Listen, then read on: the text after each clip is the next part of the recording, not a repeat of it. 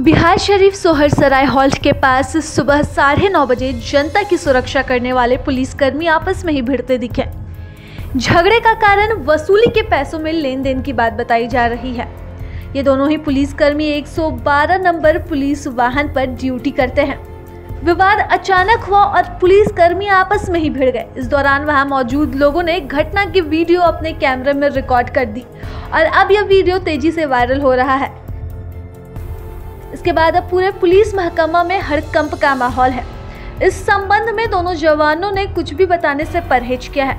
वहीं इस बीच नालंदा पुलिस अधीक्षक अशोक मिश्रा ने सोशल मीडिया के माध्यम से दो वीडियो के आधार पर संज्ञान लेते हुए दोनों जवानों को जिला पुलिस केंद्र वापस कर दिया है और पूरे मामले की जाँच का भी आदेश दिया है।